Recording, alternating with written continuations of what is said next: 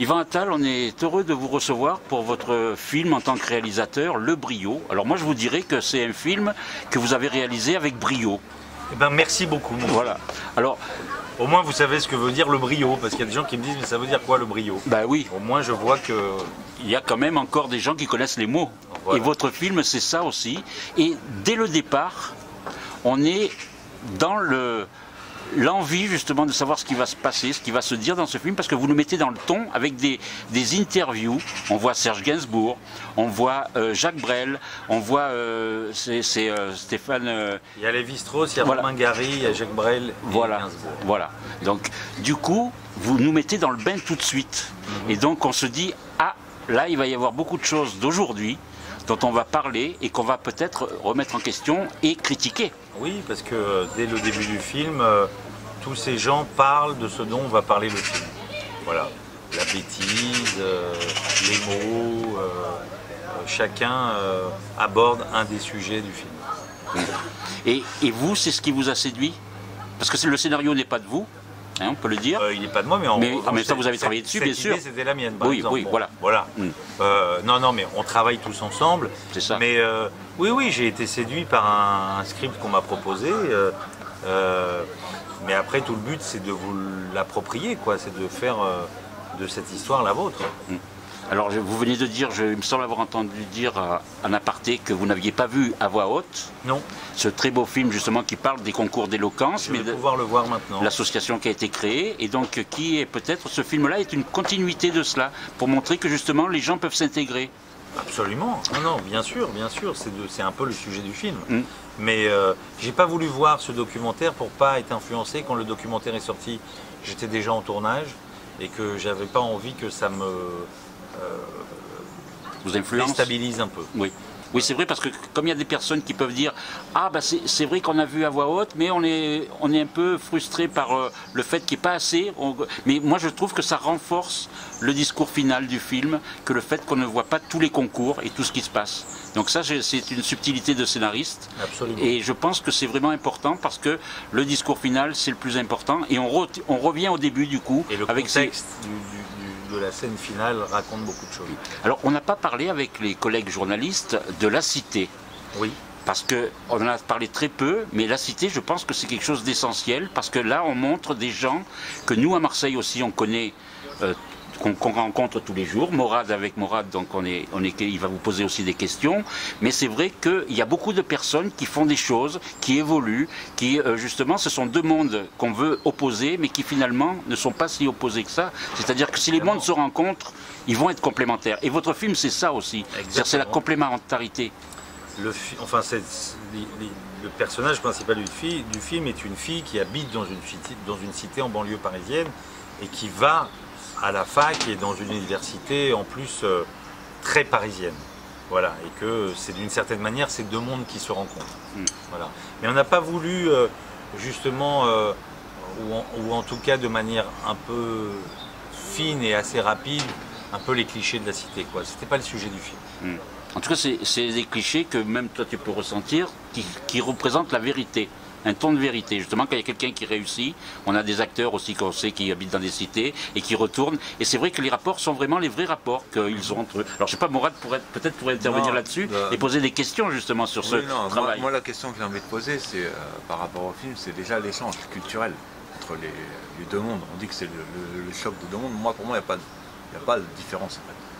Pour moi, je pense que on Non, peut- mais il y en a des différences. Il y en a, mais on des peut- on échanger mais ensemble. c'est ça qui est intéressant. Et, vous c'est pensez pas que euh, des fois, il y a les, les médias, ils, ont, ils jettent un peu de l'huile sur le feu en, en mettant à côté et stigmatisant une, une Non, mais classe les, les sociale d'un- médias, pays les médias, euh, c'est les médias. C'est-à-dire, on sait, euh, et sur un peu tous les sujets d'ailleurs, hein, pas que ces sujets-là. Ouais, les médias, ils veulent vendre. Ils ont des journaux ils- où ils veulent faire de l'audience à la télévision et que c'est le jeu de jeter de l'huile sur le feu pour faire que les gens réagissent, pour faire que les gens euh, sortent d'eux-mêmes et pour faire du spectacle. Quoi. C'est ça. et que, et que c'est vrai que des fois c'est un jeu dangereux parce que ça encourage, euh, comme vous dites, ça met de l'huile sur le feu. Voilà. Mais en même temps, ça provoque aussi des débats, ça fait avancer les idées euh, et que c'est pas tout, tout mauvais. Quoi. Voilà. Non, il n'y a, rien de mauvais. Tout à l'heure, vous, vous parliez de- des États-Unis, que vous, avez- vous êtes euh, parti vivre à New York, c'est ça? Oui, enfin, j'ai- je, je passe un peu de temps. Voilà, vous avez vu que bon, c'est un pays où il y a, c'est communautaire, mais que les communautés tous euh, se sentent patriotiques en fait. Ce Absolument. qui n'est pas le cas, ce qu'on ne voit pas dans, en France. C'est ce qu'on a l'air de de, de, pas avoir complètement chez nous. Ça veut dire que nous, on lutte contre les, les communautés, on essaye euh, vraiment de, de briser ce communautarisme, et je le comprends et je l'encourage. Mhm. Euh, et au final, euh, on a l'impression que parfois, euh, les gens ne se sentent pas français. quoi. Et bizarrement, aux États-Unis, où, où c'est pas qu'on encourage le communautarisme, mais, qui- mais qui est un pays très communautariste, les gens se sentent malgré tout tous américains. Et il y a quelque chose à essayer de comprendre là-dedans. Qu'est-ce qui fait que chez nous, beaucoup de gens ne se sentent pas français? Alors, probablement que si les communautés se replient sur elles-mêmes, c'est aussi à la France peut-être de se poser des questions, notre pays de se dire pourquoi ce bras qui est tendu n'est pas pris. Et à mon avis, le, le problème est des deux côtés aussi. quoi. Et ça, c'est aussi, c'est peut-être euh, par rapport aux États-Unis, parce qu'eux, ils ont eu pas mal d'histoires qui a fait qu'ils ont créé euh, le communautarisme. Mais parce que je pense que les, Américains n'ont pas peur euh, de- du patriotisme. Non, et, ça, que chez vrai. nous, euh, et que chez nous, dire qu'on aime notre pays, c'est toujours un peu mal vu. Quoi. Moi, je trouve ça- que c'est. Au contraire, il faudrait le dire. Oui, Plus. bien sûr. Tous. Je suis d'accord avec vous, mais euh, je me souviens par exemple que euh, quand Ségolène Royal une fois a dit il faudrait accrocher des drapeaux français aux fenêtres, on était bien avant Charlie Hebdo, etc. Et, cette revendication-là, eh ben, les gens l'ont prise pour une folle. On s'est dit elle vire à l'extrême droite, elle est, c'est quoi ce nationalisme, etc. Donc euh, en France, on a, on a un petit peu peur de ça. Mais c'est peut-être un peu, pas, pas que la France, c'est peut-être l'Europe, je ne sais pas comment c'est vraiment ailleurs, mais euh, je sais qu'en Allemagne, par exemple, j'étais allé voir euh, un match de foot, j'ai eu la chance d'aller voir un match de foot quand la Coupe du Monde se passait en 2006. en 2006, je suis allé euh, voir un match de l'équipe de France, euh, ou même à la télé, je me souviens que c'est très étrange de ne pas voir de drapeau allemand dans le stade. Quoi. Voilà. Eux, je peux comprendre qu'ils aient un vrai problème avec le nationalisme, parce que euh, malgré tout, ils héritent d'une histoire un peu lourde, mais, euh, mais euh, c'est étrange que chez nous, on ait du mal avec ça. Quand on revendique la France, quand on revendique notre patrimoine, quand on se dit fier d'être français, tout d'un coup, on, nous regarde un peu bizarrement, on nous soupçonne, on nous soupçonne de virer à droite, d'être à l'extrême droite et d'avoir des thèses racistes, antisémites, etc. Non.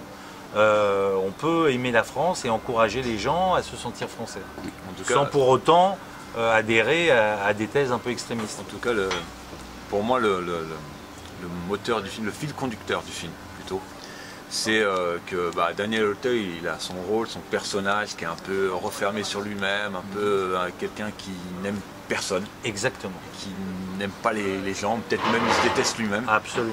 Et au bout du compte, euh, il apprend à travers Camélia Jordana que, bah oui, elle est différente de lui. Elle vient de, comme on dit chez nous, de l'autre côté du périph'. hein. Et bah, il a appris des choses. Et elle, elle a appris en lui. Et c'est- cet échange, en fait, pour moi, c'est un message, en fait. C'est-à-dire qu'on peut tous euh, partager, échanger nos coutumes, nos traditions, nos cultures. Exactement. Et Et, euh, fabriquer l'avenir, justement, avec cet échange-là. C'est-à-dire que là, C'est elle, inévitable. voilà, C'est la seule solution. Ah oui. c'est comme un couple amoureux. C'est la seule solution, mais euh, encore une fois, euh, c'est un échange. Quoi. Mm. Voilà. C'est ça. Mm. Alors, pour parler justement de- du, du duo d'acteurs que vous réunissez, franchement, on ne pouvait pas mieux tomber parce que Daniel Auteuil, on connaît ses talents, on, on sait qu'il est capable de tout jouer, mais là, il a, je pense, mis la, voilà, le- la vitesse supérieure.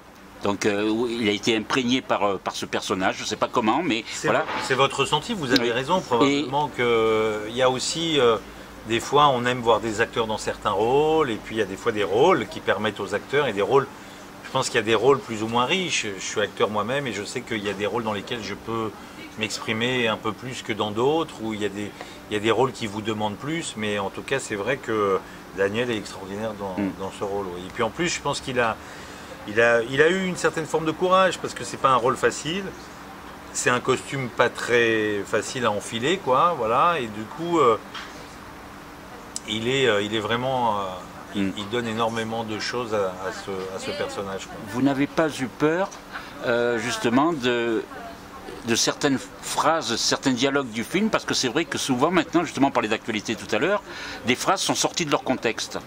Est-ce que vous n'avez pas eu peur de ça en Non même temps, sortir Non. une phrase d'un contexte. Mais en même temps, dans le film, vous nous démontrez. Sortir une phrase d'un personnage de fiction dans un film, bon, on craint pas grand-chose. Tout le monde sait que ça vient d'un film. Bon. Voilà, c'est une fiction. Mais en même temps, euh, oui, les- les- c'est- le film parle de ça au- aussi. Ça veut dire qu'aujourd'hui, euh, on est brimé, on peut plus dire grand-chose, on a peur de ce qu'on va dire, on sait que euh, un tas de choses vont être euh, interprétées, récupérées, et puis ça va trop vite, ça fait beaucoup de, de réflexion, et puis c'est sur les réseaux sociaux, c'est avec un certain nombre de caractères, donc il faut, va- il- faut s'exprimer vite et de manière très succincte.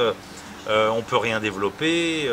voilà, c'est un peu aussi le film remet, remet euh, le, le fait de, de questionner, de réfléchir, et de s'exprimer euh, au goût du jour. quoi. Il y a une Voilà. belle scène avec et les- que c'est pas LOL et que Mm. c'est pas Voilà. MDR et que voilà. Voilà, il y a une très belle scène, justement. Par rapport à ça, d'ailleurs, oui, euh, Daniel Auteuil, c'est ça que tu voulais Oui, dire. Il y a une super scène de ça. Et, euh, et moi, euh, mon avis, c'est que Daniel Auteuil, quand, quand il parle de ça, on a l'impression que les gens, ils, ils sont tout le temps connectés à leur smartphone. Il n'y a plus d'échange Mhm. viral. Mhm. C'est plus la, la connexion 4G qui, qui passe en premier. Ouais, ouais, Et c'est euh, ça. A- même quand il le dit dans sa manière, moi, pour moi, c'est ça qu'il a voulu dire. Et puis la manière aussi, euh, la, la première scène quand il la rencontre et tout, il joue avec les mots. Il, il- il dit des, des Mais en mots, plus, c'est dur. mais comme c'est le, c'est le concours d'éloquence, il dit pas des choses. euh, euh, en tout cas, dans cette première scène, c'est les élèves qui interprètent Oui. cette chose de cette Oui, façon. C'est une ça. interprétation, lui, charrie ça. en fait. Absolument, c'est une interprétation. Et après, il va dans la provocation. Mm. Euh, mais au départ, euh, il n'est pas là-dedans. C'est une interprétation. Et c'est ça qui est le déclencheur de tout. Et c'est ça aussi qui est mm, euh, très regrettable. C'est qu'aujourd'hui, quelqu'un dit quelque chose et que si on a envie de le retourner contre lui, C'est assez facile de le retourner contre lui. Or, c'est pas le cas. Et je crois que dans le film, malgré tout, Daniel, en tout cas le personnage de Daniel, dit des choses assez justes à cette fille.